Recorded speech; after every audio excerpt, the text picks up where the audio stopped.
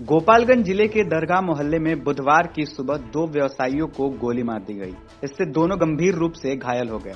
इलाज के लिए उन्हें सदर अस्पताल में भर्ती कराया गया। प्राथमिक उपचार करने के बाद डॉक्टरों ने उन्हें बेहतर इलाज के लिए गोरखपुर रेफर कर दिया। मिली जानकारी के अनुसार आज बुधवार की सुबह ज़मीन विवाद को लेकर चप्पल जूता व्यवसायी कलामुद्दीन मियाँ उर्फ़ मुन्ना व दवा व्यवसायी मोहम्मद सोहराब मियाँ अपनी ज़मीन पर थे।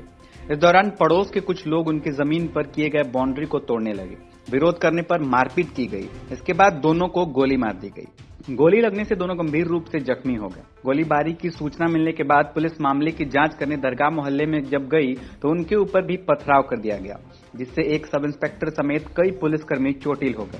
हालाँकि सूचना मिलने के बाद सर सीपीओ नरेश पासवान, नगर इंस्पेक्टर प्रशांत कुमार राय, महिला थानाध्यक्ष अप्शा परवीन, अनुसूचित जाति जनजाति थानाध्यक्ष व थावे थाना की पुलिस मौके पर पहुंचकर मामले की जाँच की।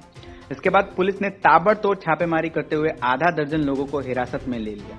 वहीं ज़मीन से जुड़ा मामला होने के कारण सदर सीओ विजय कुमार सिंह को बुला लिया गया, जो मामले की जाँच कर रहे हैं। हम लोग बाउंड्री करा रहे थे अपने ज़मीन का तो चार पाँच आदमी लोग आए जिसमें तालिब, गुफरान, कलीमुल्ला, अहमद, गुलाब शाहिद ये लोग आके धमकी दिए कि दस दूर ज़मीन हमको दीजिए।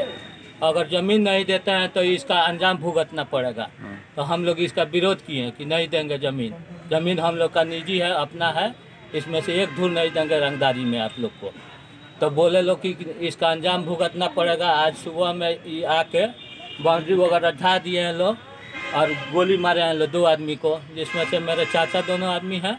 एक आदमी राजा मेट को दुकान चलाते हैं और एक आदमी फुटवेयर का दुकान चलाते हैं। कलामुद्दीन हुसैन।